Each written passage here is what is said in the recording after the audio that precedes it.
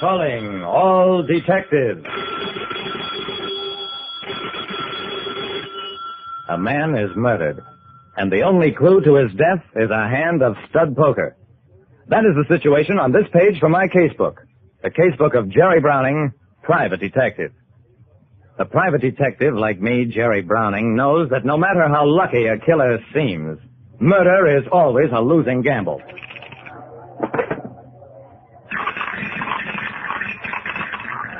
The Club Coquette is the kind of joint that attracts high society and low characters. It offers blackjack, roulette, chuck-a-luck, and every other standard device for losing your money. The reason I was in the place was because I was being paid to be there. Ace Hogan owned the Coquette. Marty Wilson ran a rival joint out on River Road.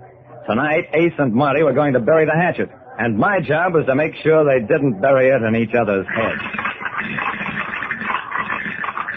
The people around the roulette wheel were betting $10 chips like nickels. Right up against the table was young Wade Julian. Hello, Jerry. How are you doing? I'm not betting, Julie, just watching. Lucky you. These six chips are the last of 1,500.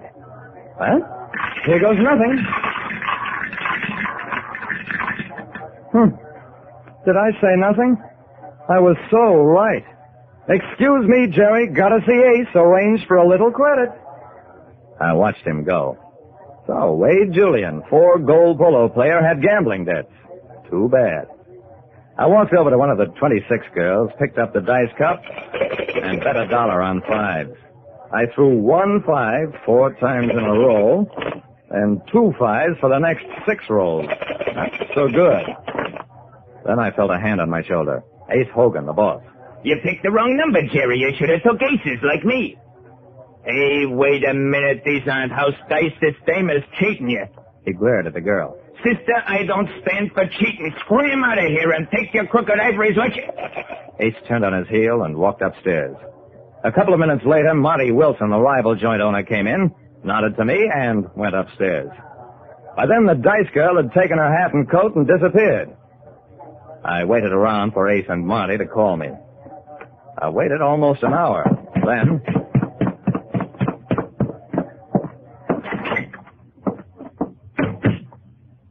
Ace was upstairs in his office, alone, and very dead. Called in as arbitrator between two rival gamblers, I discovered that Ace Hogan, one of the gamblers, had been murdered.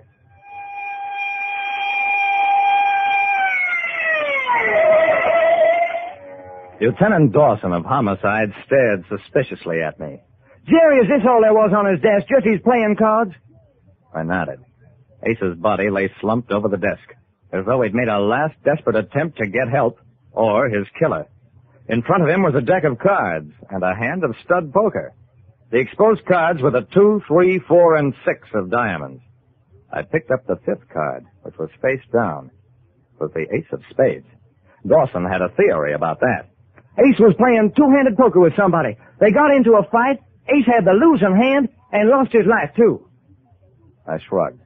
Maybe. Ace was pretty busy tonight. He had a meeting scheduled with Marty Wilson, a run-in with a crooked dice girl, and even Wade Julian, the polo player, wanted to see him. When would he have time to play poker? Dawson didn't know. He was too busy taking down the names I mentioned and ordering the arrest of their owners. But I kept thinking of that poker hand.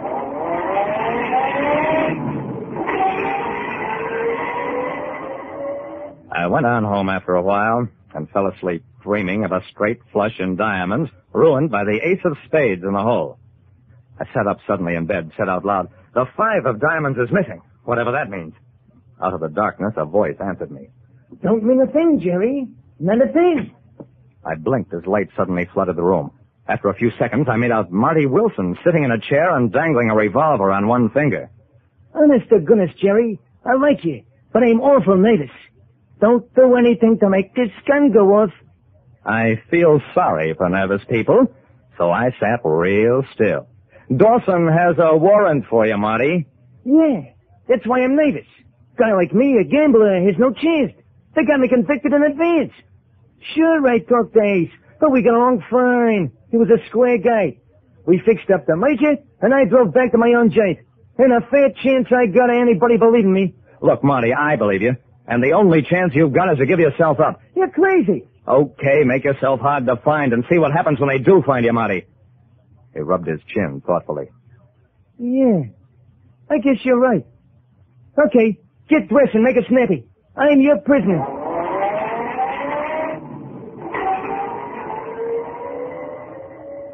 Dawson was at headquarters by the time we got there, and he wasn't happy about getting out of bed either. So, decided to give yourself up, Wilson. Sergeant booked this man along with the other two. Give him a break, Dawson. He gave himself up voluntarily. And what about the other two you've got locked up? They can't all be guilty. At two in the morning, everybody's guilty. I'm going back to bed. The next day, I got permission to talk to the other prisoners.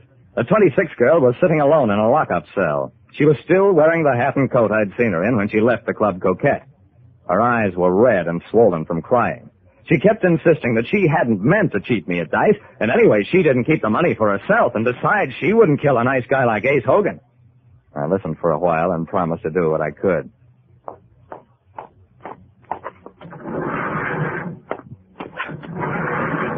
In another cell, Wade Julian, the polo player, was a little more self-possessed.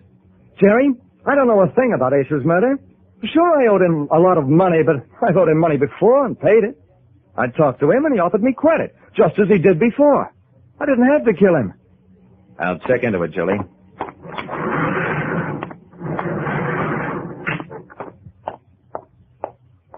My last interview was with Marty, the gambler. I found him sitting on his cot, a deck of cards spread out before him. What are you doing, Marty? Playing solitaire? Yeah. A guy has to pass the time, doesn't he? Sure, Marty. Uh, did you play poker with Ace when you saw him? Marty stared at me. We talk business. Why should we play poker? There were cards spread out on his desk. A poker hand, just like you've got spread out. Marty grinned. This ain't poker. It's blackjack. Every gambler plays it by himself to see can he beat himself. Blackjack? Of course, it had to be that. Marty, in blackjack, the ace counts for one or eleven. Add to that the two, three, four, and six, and you have 16 or 26, why? 26. In his dying moments, Ace named his killer the 26 girl who killed him because he found out she was a thief. That cracked it. I got the 26 girl upstairs, showed, showed her the card layout. After a while, she lost her nerve and confessed. Ace had tried to make her give back the money she'd stolen with a crooked dice, so she shot him. Just a nice girl. Like I said, every killer thinks he's smarter than other people. But nobody can get away with murder. It isn't in the cards. Listen next time to Calling All Detectives, mystery drama, mystery quiz, and a chance for you to match wits with yours truly, Jerry Browning, private detective.